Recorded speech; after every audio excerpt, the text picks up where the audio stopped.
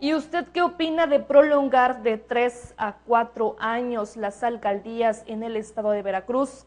Acompáñenos a conocer qué piensa la población de Acayucan, Veracruz.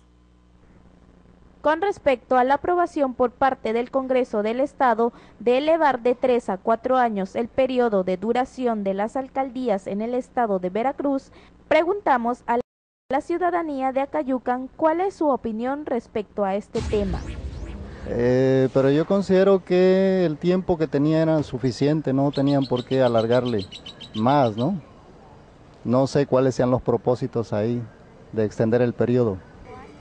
Lo que importa es que sean buenos, que sirvan para algo, que no nada más se sienten a ver qué se echan a la bolsa, que sirvan, que sirvan a las comunidades, que sirvan a a los ciudadanos.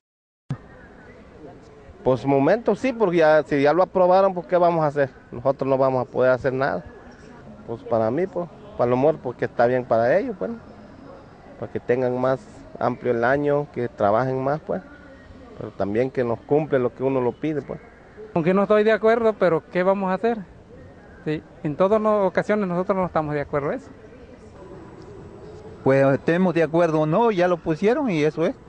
Bueno, tres años, ¿no? Porque cuatro años es muy, es muy largo para, para nosotros, pues, porque en realidad hay autoridades que, ¿de qué sirve que estén los cuatro años y no van a, no van a hacer nada, ¿no? Entonces, aunque sea tres años, pero bien trabajado, o sea, que hagan algo, pues. Bienvenidos los cuatro años, para ver si efectivamente van a trabajar como deben de ser los alcaldes. No, pues no, eso está muy mal, ¿no? Porque te imaginas, este, en lugar de que beneficien al, pues, pueblo, pues lo están perjudicando y no, pues no se vale, eso está muy mal. A partir de la aprobación de esta reforma, habitantes del sur de Veracruz esperan que sea mejor la forma de gobernar de cada alcalde. Para TVS Noticias, tvsureste.com.